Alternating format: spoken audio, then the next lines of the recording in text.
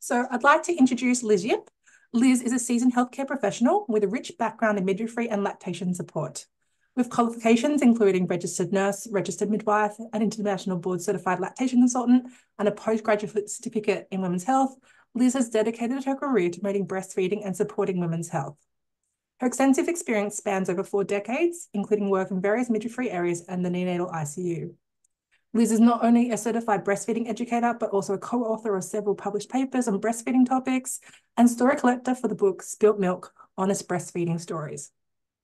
Despite retiring from clinical work in 2023, she remains actively engaged in research projects aimed at improving, improving breastfeeding practices. Beyond her professional achievements, Liz's personal journey, marked by her resilience in managing conditions like ADHD, dyslexia, aphantasia, and chronic fatigue syndrome, has shaped her unique perspective and unwavering commitment to women-centered care. I will now pass over to Liz. So thank you very much, Belle, for that. That was a nice introduction. Um, I'll apologise if I cough occasionally through the talk. I've managed to get some viral thing. Um, I would listen to Linda Day's talk, and it's very much on the same theme of what we do matters and really matters, and we've got to be careful about what we do and what we tell women. Um, and she was calling it obstetric neglect, and I think as a whole, midwifery often does the same with breastfeeding. Um, and we need to think a lot about what we're doing. So what we do matters and why listening to women can change future practice in uh, sorry, I've got the wrong view again. Oh, what view have you got? I just set it up to see you. Well, it doesn't matter. We'll work on that. Can you share your slides or you can't see your the slides? Uh, no, I can't. Switch to shared content. That Yep. That's better. Yeah, I had oh. me and a whole lot of other stuff. That's I do apologise for my uh, lack of um, working with Zoom. I tried to ignore it as much as I could for the last five years. so next you ready screen. For next yep. so um, just some acknowledgement. I wanted to use the term women breastfeeding and breast milk as these are terms used by the women in their stories. And I acknowledge that those who use different terms. I want to acknowledge the Cammeraygal peoples who were the first people on the country I live on. I'd like to acknowledge all named and unnamed women who've birthed on all our lands. Um, not every woman is named. Humanity and womanhood is very messy, messy and individual in business, and the messy bits rarely recorded, despite the many books I've learned from about pregnancy, birth, breastfeeding, and parenting should look like. I've never seen two births or breastfeeding relationships the same. Next slide, thanks. So I'll be reading through some of these slides and then I'll be chatting to you. So please bear with it. Supporting breastfeeding and breast milk is supporting our future. Every breastfeed or breast milk feed is one less breast milk substitute. Poor support at birth leading to early weaning increases the use of breast milk substitutes. Every feed has an environmental footprint and breastfeeding that has the lightest. Every breastfeed, breast milk feed is important supporting mothers and babies' future health. This means a lighter health and environmental cost in the future. We all need to learn, listen, and question so we can support our future families. Next slide, please. I want to apologise to all the women I didn't listen to. I want to apologise to all the women I didn't know how to help. Uh, I want to apologise to all the women I couldn't help. And I want to apologise to families, women, and all my colleagues when I taught what I was taught that later was found to be wrong or at least not helpful. There's a lot of that happening and has happened in breastfeeding over the 40 plus years I've been working. I've had to learn how to see what I knew was not helpful. That's very hard. I had to learn how to personally accept that at times I got it wrong for women, babies, and families, and that what I taught continued practices that were not helpful. This is a tough journey for all of us to go through. Next slide, please.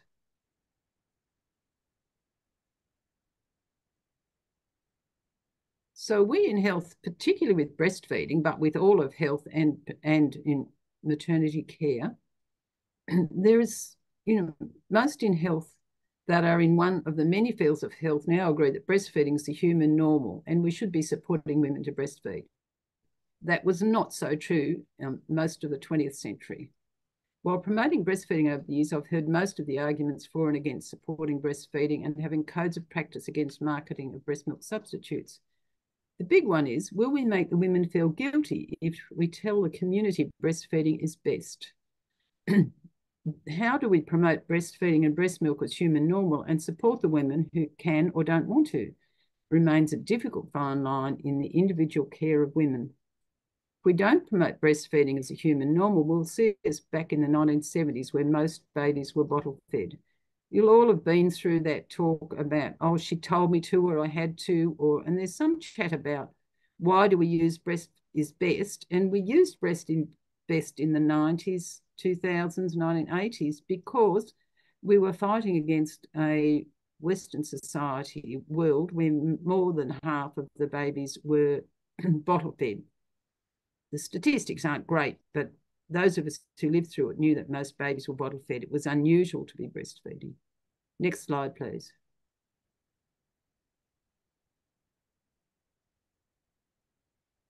So um, I'm a 60, you can read that quickly yourselves really, but I'm a 66 year old and I've been listening to women's stories all my life. I started nursing in 1976 and have been working in women's children health since 1980. I am well aware of the history of breastfeeding support and the very poor support through the, out the 20th and into the 21st. It's not just Western health, but most countries who birth their babies in hospitals under the control of doctors, nurses, and midwives. And we need to acknowledge as nurses and midwives what we did to women. You could say still doing at times. We were often complicit with doctors in very inappropriate care, though most of us believed what we were doing was best at the time. All health professionals are a team of family, and like families, often dysfunctional, but need each other to care for the complexities of caring for women and their babies. So we, and I can't read that last word, uh, and their families. We really do. I keep hearing at time, sometimes hear that, you know, midwives don't need doctors, but doctors will tell you they need midwives and we need them. It is very much a often dysfunctional team, but there are times when we need doctors um, for complicated births or someone. Women often need help that's not just midwifery care. Next slide, please.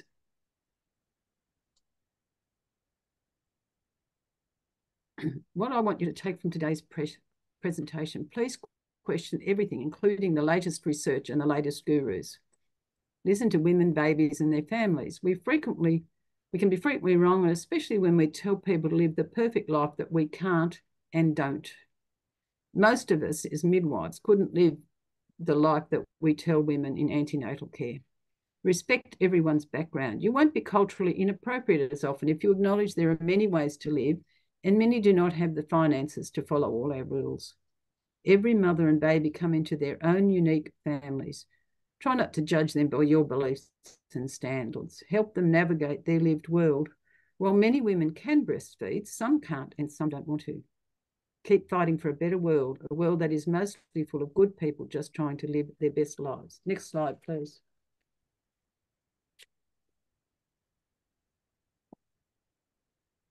So what can we do? We firstly need to acknowledge babies as amazing and individual human beings. All of us need to learn how breasts work a bit more than a basic level. We need always to remember that mother and baby are a team of individuals with their own individual joys and challenges. We need to remember everyone has their own body and breast shape, and this influences positioning and attachment. There is no one position and attachment.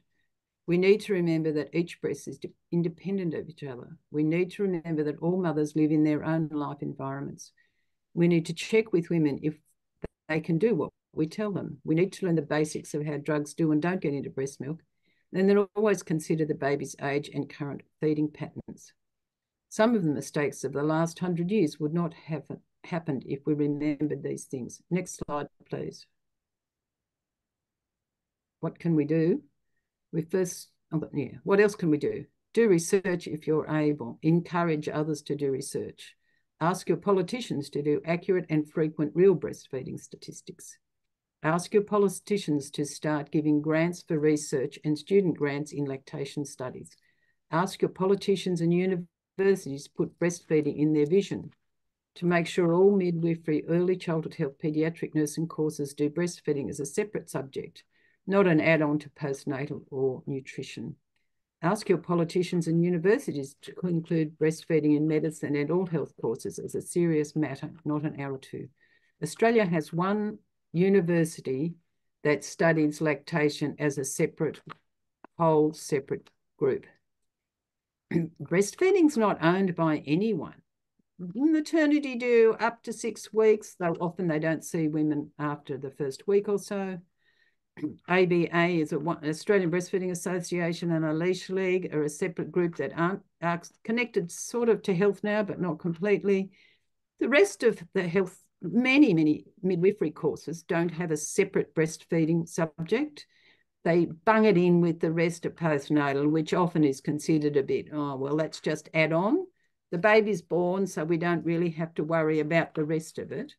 breastfeeding is as much an important part of babies' lives as is their safe birth. Um, even though we often we don't know what we're doing half the time, we keep changing the rules. But when you don't breastfeed on whole um, and do the care we did in the 20th century, it's going to take us a while to relearn what is natural feeding and natural birthing. So we need to really push our universities, our politicians, our administration to look at breastfeeding as a separate entity all of its own to support and help women and babies. Next slide, thanks, Belle.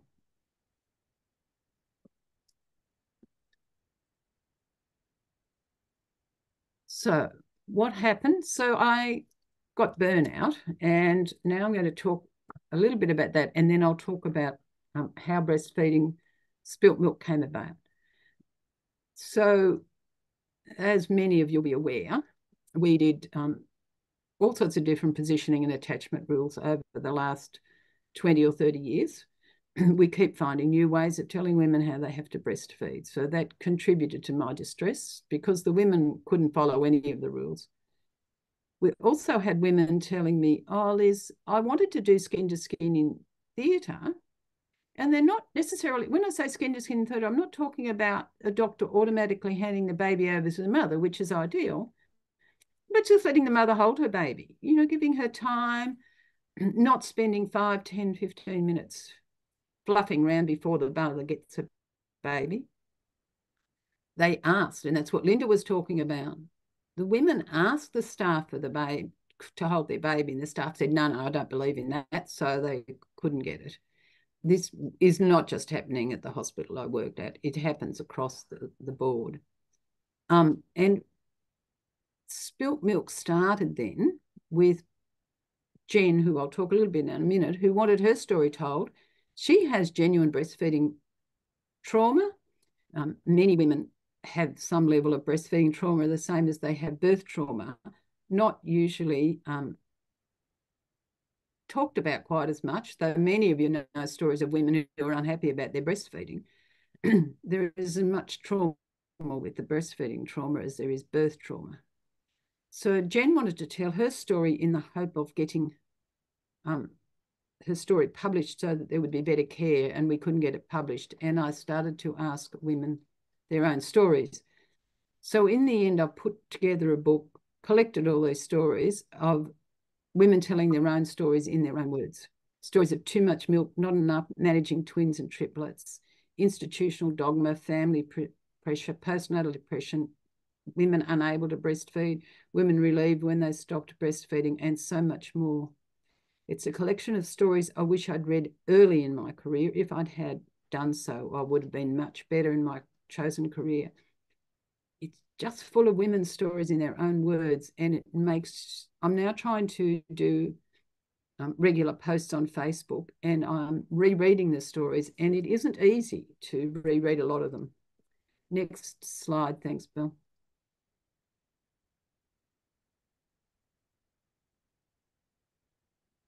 so Jen wanted her story told to help other women. So then I asked are other women if they wanted to tell their stories, and I gave them an email address that was just for women's stories. So women absolutely opted in. I did encourage my family more. I didn't access any records at all, so everyone opted in. Danny was keen um, among those to tell her story. And then serendipitously, I saw her at a local coffee shop two days before she left Sydney. She agreed to edit the stories and organise publishing. The women wrote whatever they wanted. Despite the urge, I did not take out any of the stories, and Danny edited to fit the book. She's not involved in health, so happy to tell difficult stories. So the women wrote in, sent in to the email address because they chose to. So I gave out a lot more forms than I got. And then all I told them to do was write what they wanted to do. So this is not what you're supposed to do. You, if you were doing it professionally, you'd ask them a whole list of questions, you get them to say all sorts of things. But what I did was just ask them to write whatever they wanted to do. Next page, thanks, Belle.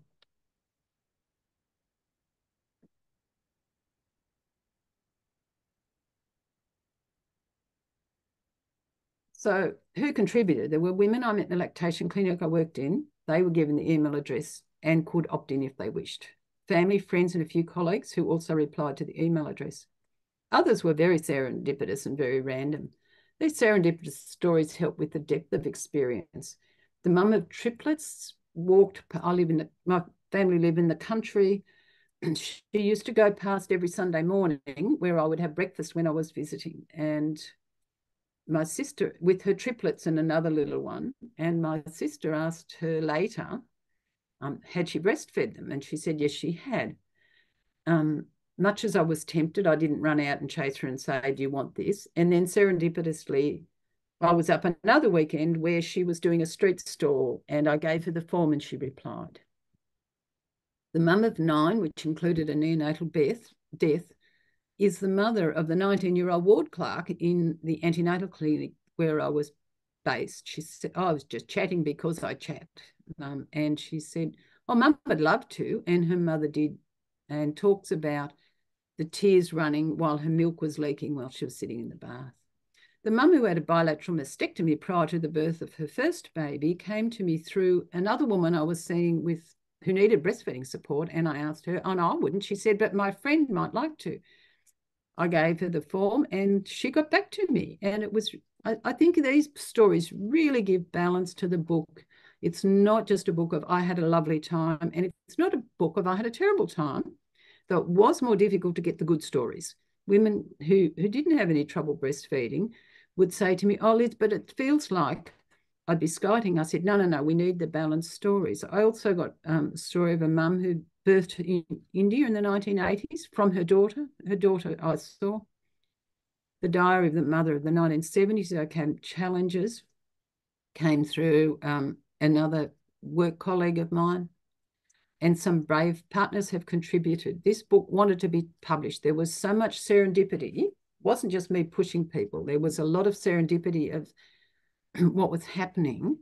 Um, it just seemed to want to be published. Next page, thanks.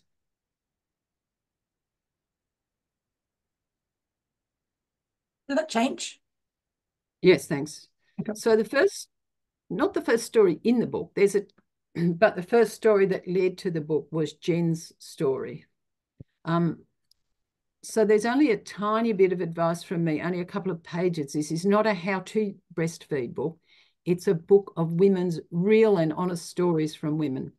So Jen had a difficult start, especially with conflicting advice. And by day two of her first baby's life, she felt she was too stupid to breastfeed because each midwife had a different way of telling her and she had to do something differently. This is not new stories to all of you out there.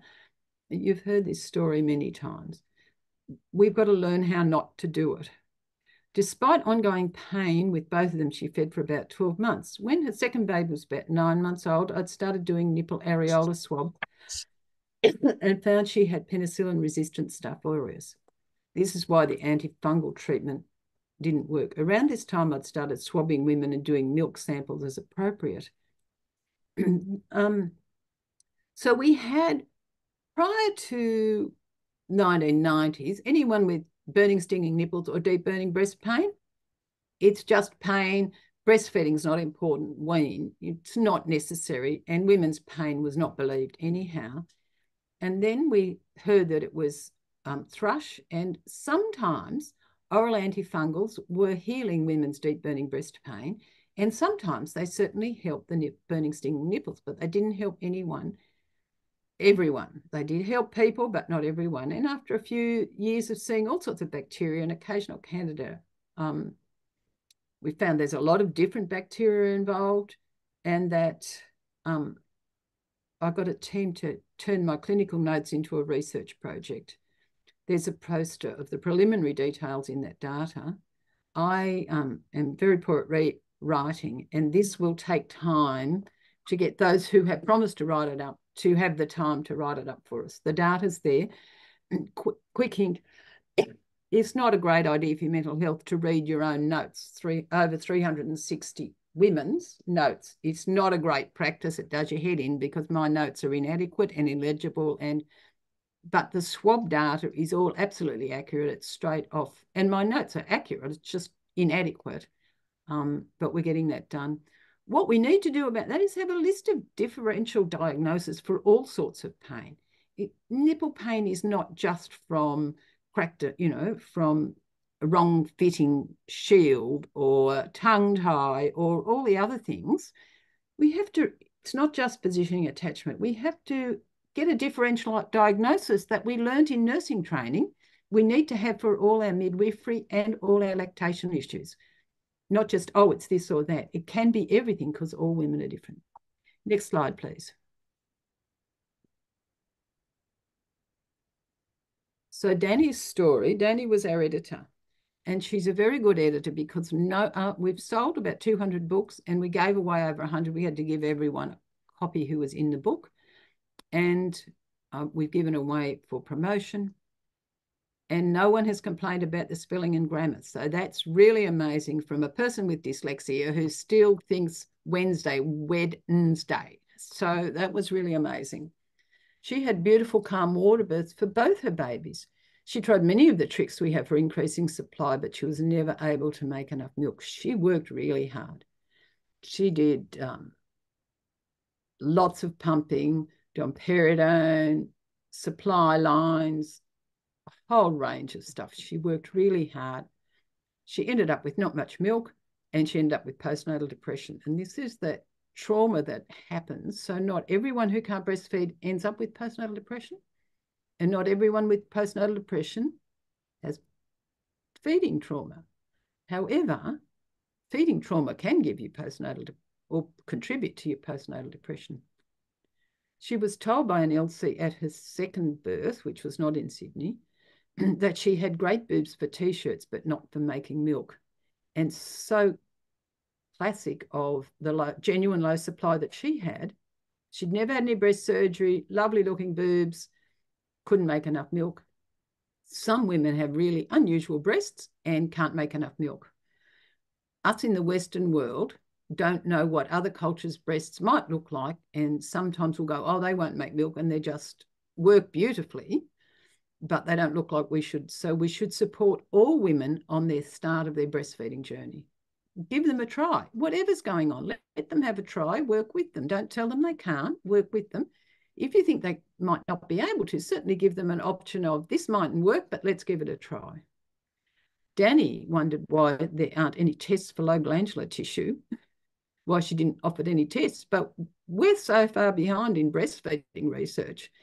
This is a field that's new and so open for all sorts of research. You know, that your low supply could be your hormones.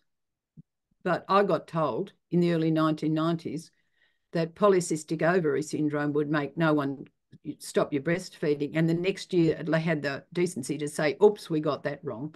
And apparently, in a very small group of women with polycystic ovary syndrome struggle with breastfeeding. we don't know hormonal, could be structural, could be genetic, could be trauma to her earlier. We don't know. Not enough research done.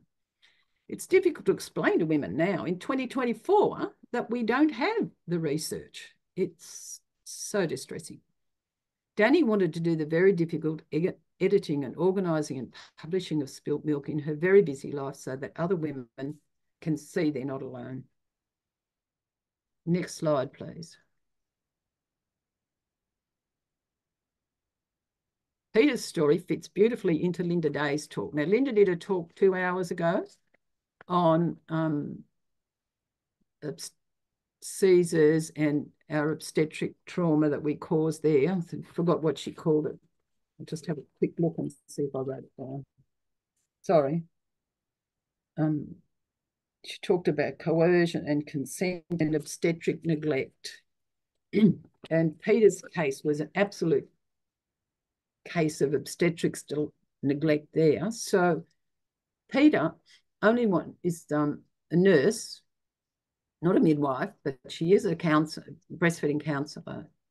She only wanted to tell how the midwife refused to let her do skin to skin at a cesarean, despite her knowledge.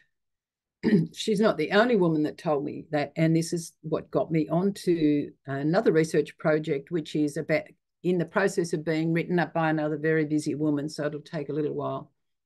Um, and there's a poster on that as well with some of our basic data, but it showed exactly what I knew in that some women want skin to skin and love it. Some women don't want the baby near them, a very small number of women. Some women are vomiting. Some women are shaking in Caesars.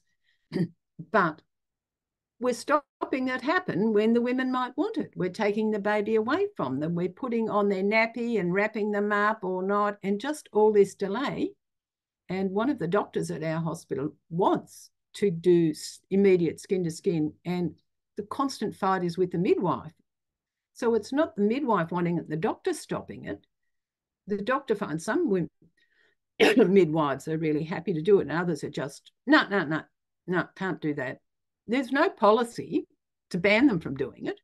There's no procedure to help them doing it, but they just don't believe in it. And I find that as a midwife, I find that so distressing because it's not women centered care. It's absolutely not women centered care. And it is exactly what Linda Day was talking about. So we found um, the skin to skin data, which will be published soon. Um, so next Next um, slide, please, Belle. So Remy is a young midwife. Well, I'm 67. She's 31, so it makes her very young. Um, and I'd known her vaguely through family, but she came and saw me because she was struggling with the breastfeeding. And after a very joyful birth, she says, I'm a midwife. I've had countless women attach their babies in birth in the first few weeks of life, tongue ties, twins, poor latch, babies with bruised heads after forceps. She knew all the tricks and thought breastfeeding wouldn't be an issue for her. Remy said at birth, I used cross cradle rules, nipple nose, and shoved my screaming baby's mouth into my nipple. Remy's nipples got sorer they weren't healing. And within two days of using cradle hold and working with her body and breast shape, the nipple starting her started healing. Remy said, I was taught, I taught mothers for 10 years cross cradle rules, how sorry I was for all the mums I'd taught as I was taught, and how changed forever I was from this experience.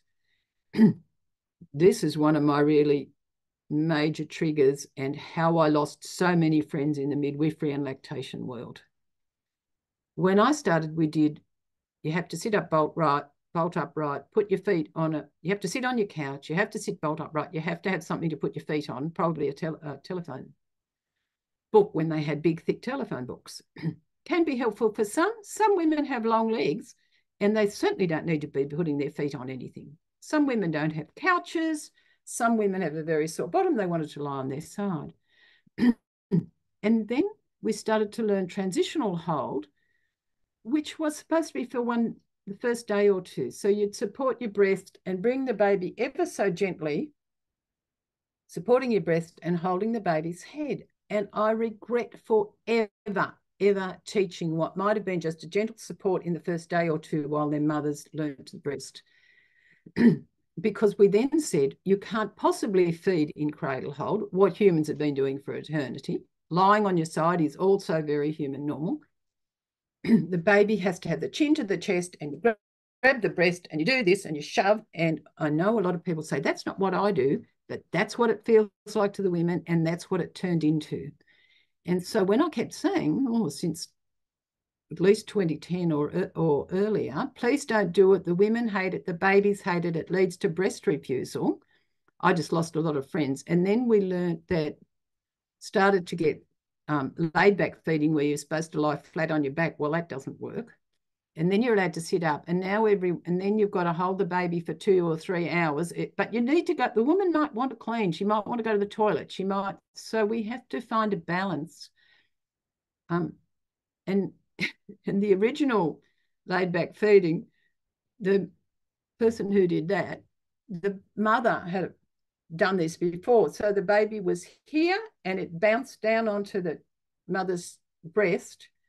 And then the mother picked the baby up and shoved it on the other side. And I'm going, would you just not have cut that out? So the baby had landed in human normal cradle hold but thought they had to show. And so for the next five years, we had this real difficulty of us going, oh, the baby has to find their own way, but then you have to put them on cross cradle, even though they're on. and now, thankfully for all that, we're getting rid of cross cradle, but it will take, and not every baby was shoved on.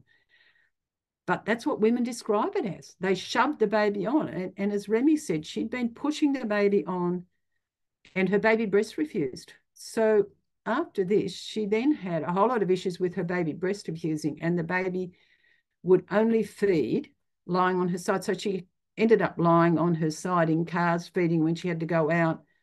The baby would not feed unless she felt like it because babies are all individual and wonderful. Have I got any more slides there, Belle? Yes. So this slide, and I'm watching the time because um, I'm not sure we needed some time for questions. And if not, I can go on with all sorts of stuff that frustrates me. So don't hesitate to contact me by my email.